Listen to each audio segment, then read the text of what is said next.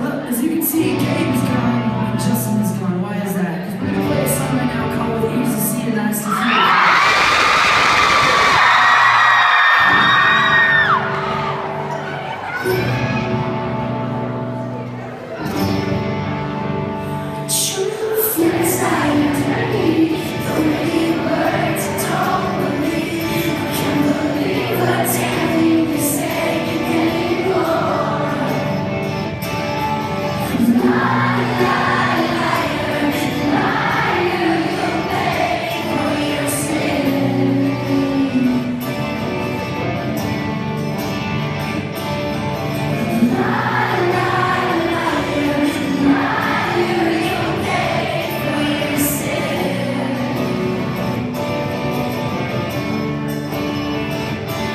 So tell me, how does it feel? How does it feel?